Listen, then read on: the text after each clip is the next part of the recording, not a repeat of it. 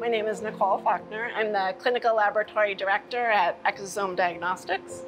And as a clinical lab director, my team and I are responsible for the safety and reliability of all of the samples coming in, the tests being run, and the results being returned back to the physician.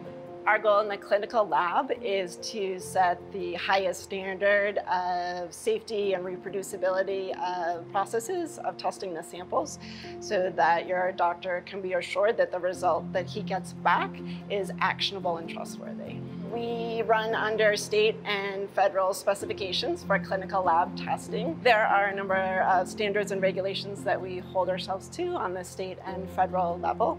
We are always open and ready for audits and inspections. It is of utmost importance to us that the right result get attached to the right specimen. Our process begins when we receive your sample. It allows us to do the next level of testing on your prostate cancer biomarker before your physician has to make the decision that you may need a more invasive process. He can use this information in determining the next stages of your treatment.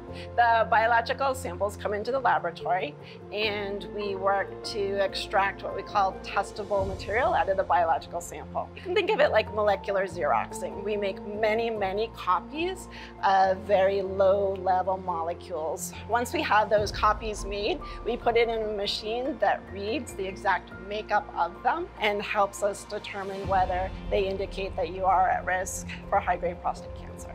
We have improved the way that prostate cancer is diagnosed. This is the only test of its kind.